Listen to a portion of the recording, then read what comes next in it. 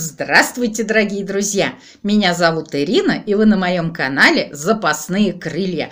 На моем канале я рассказываю о том, как я похудела на 94 килограмма, укрепила мое здоровье, улучшила внешность, а также обо всем, что меня интересует. Ставьте лайки и нажимайте на колокольчик. Подписывайтесь, чтобы жителей нашего чудесного, доброго виртуального города Крылатой стало 300 тысяч. Дорогие друзья, сейчас вечер 8 марта, 9 часов. Я только что вернулась из гостей. Я отлично провела время. Я попела в караоке. Это, конечно, надо было видеть, потому что у меня нет ни слуха, ни голоса. Вот знаете, я такой любитель музыки, я так в ней разбираюсь, особенно в классической музыке. Но, к сожалению, мне медведь на ухо наступил. Но когда наши граждане примут на грудь, расслабятся, всем становится тепло и хорошо, и хочется петь. А помните, дорогие друзья, в нашем детстве, как были популярны застольные песни «Хаз Булат удалой, бедна сакля твоя, цыганочка Аза». Я помню, всегда пели, всегда, все везде пели за столами. Старательно выводили, не пропуская ни одного куплета. И мне кажется, что вот сейчас караоке заменило вот эту тягу людей попеть после застолья. А у моих друзей как раз караоке и есть. Вернее, не так, только у этих друзей оно и есть. Ни у кого больше нет. И поэтому ни у кого больше я не пою дурным голосом. Но как же это прикольно и весело. Я хохотала, все хохотали, было очень душевно.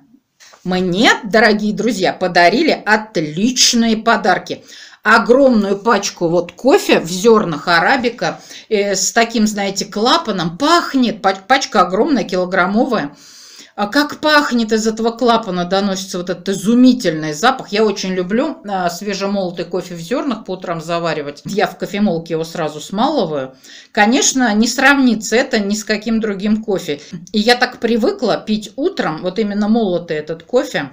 Раньше я пила только черные, вот сейчас пить стала с молоком. Ну, конечно, без сахара просто.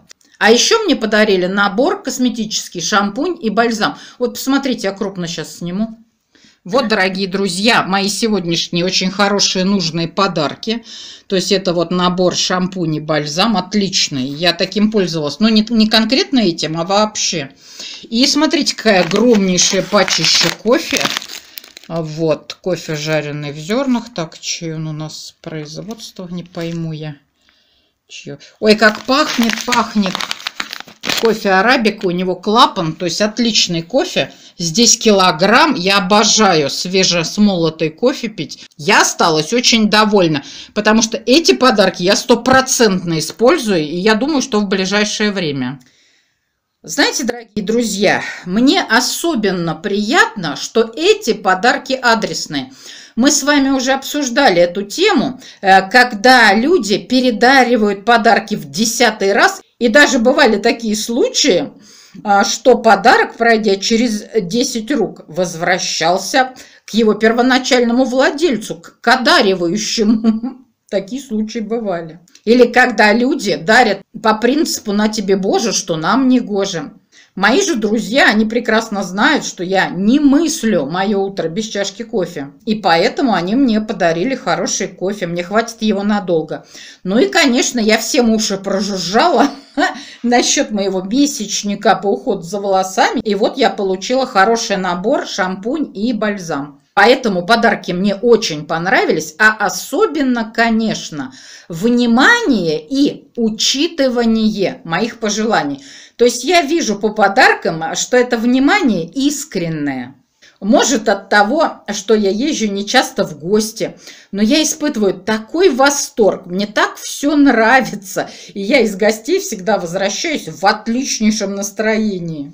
И мне, конечно, очень нравится вот этот сам процесс сбора в гости продумывание наряда, когда я все это достаю, примеряю, потом глажу, потом выбираю, какие духи я надену в этот день. Ну и, конечно, приятно в гостях поговорить обо всем вспомнить былое, а, новостями какими-то обменяться. И, кстати, дорогие друзья, очень интересно получилось.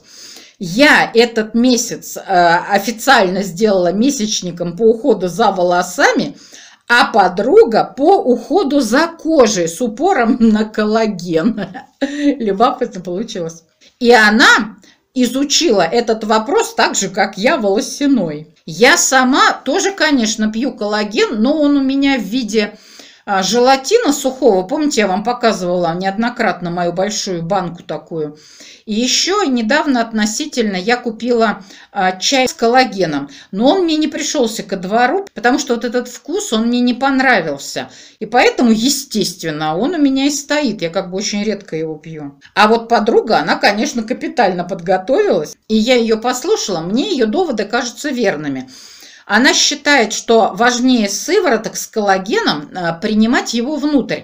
А, но я тоже всегда за этот подход, за комплексный подход. То есть я думаю, что надо и внутрь, и снаружи, и вообще со всех сторон. И, кстати, жалко, что я не знала о ее коллагенизации. Я бы привезла ей вот этот э, чай с коллагеном, потому что у меня банка практически не тронутая. Она не старая, ничего недавно покупала. То есть отличная банка, не дешевая. А ей бы он наверняка подошел, очень жаль. И вот что она стала делать. А, во-первых, она стала постоянно варить костный бульон из говяжьих костей, потому что она прочитала, а, что в день нужно выпивать э, примерно полстакана стакан вот этого костяного говяжьего бульона, что он содержит а, активный белок. Вот знаете, дорогие друзья, я все чаще вспоминаю советское меню. То есть небольшой какой-то салатик овощной из капусты, моркови, суп на говядине с костями. Второе и компот, ну, классическое меню. А знаете, еще о чем я сейчас подумала? А, вот я часто читаю, что мои порции громадные, что я ем тазами. Но ведь моя порция – это всего 500-600 грамм. А ведь даже маленькие порции обеда в студенческой столовой, помните, я вам рассказывала, что у нас рядом была студенческая столовая, и мы с мужем любили там обедать. Там был обед как настоящий, только порции меньше в студенческой столовой, ну и стоили, соответственно, дешевле. И я хорошо помню эти порции.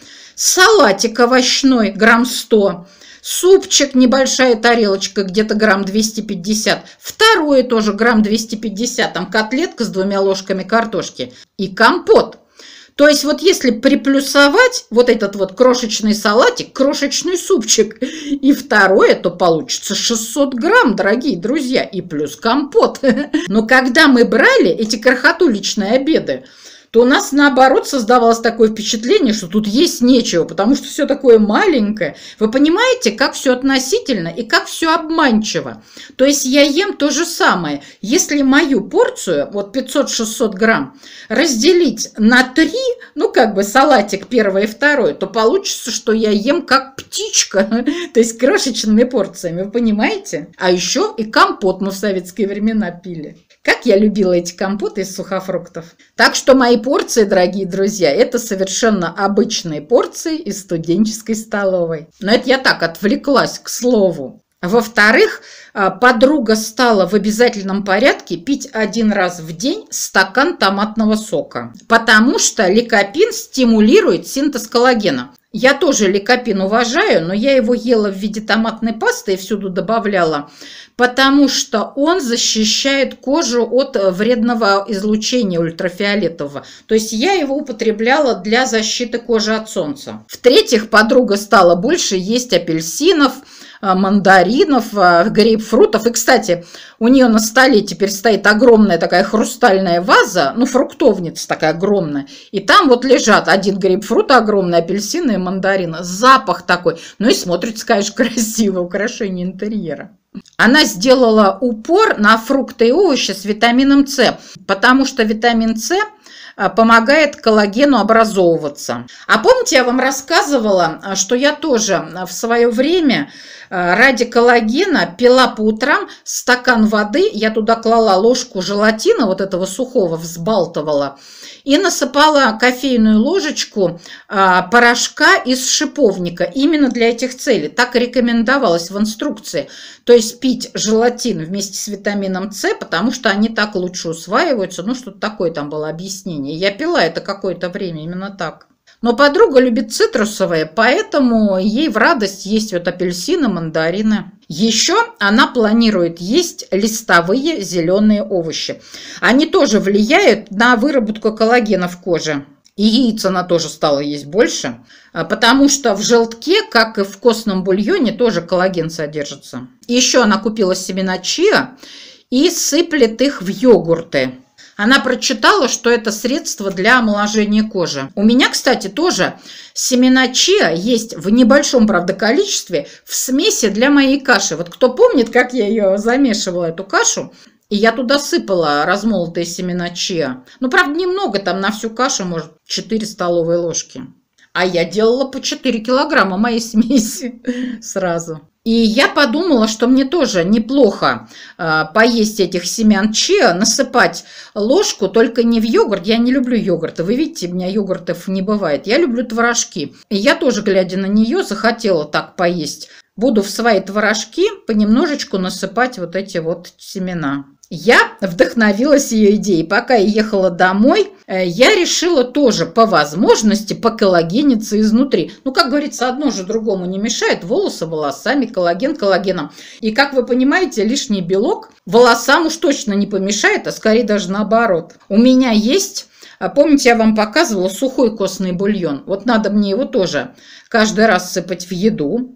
У меня есть семена чиа. Вот с зеленью у меня, конечно, только напряженка, потому что у меня на данный момент есть только замороженная укропа петрушка. Ну, иногда еще палки сельдерейные покупаю. Мне кажется, что зелень, вот э, такие крупные листья какой-то зелени, они сейчас очень дорогие зимой, это во-первых.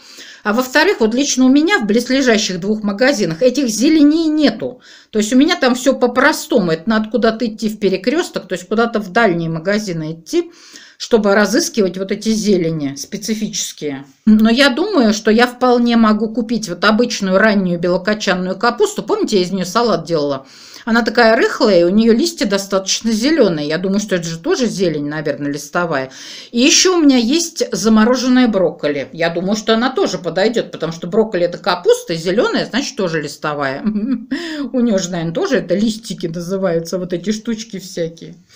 Так что, дорогие друзья, я сегодня съездила, получила подарок, пела хором, приятно отдохнула. И еще привезла идею коллагенизации дополнительной. Но, конечно, я уже тут заморачиваться не буду, это точно. Ничего специально покупать не буду, это точно. Я буду пользоваться тем, что у меня есть, и чем я пользуюсь редко. Я просто начну этим пользоваться чаще. А вы, дорогие друзья, как вы провели сегодня 8 марта? Расскажите, какие подарки получили. Это так интересно. Я очень люблю рассматривать подарки. А сейчас, дорогие друзья, я немножко отдохну и лягу пораньше спать. А в конце, как всегда, моя любимая аффирмация, с каждым днем моя жизнь чудесным образом становится лучше и лучше во всех направлениях. Пока!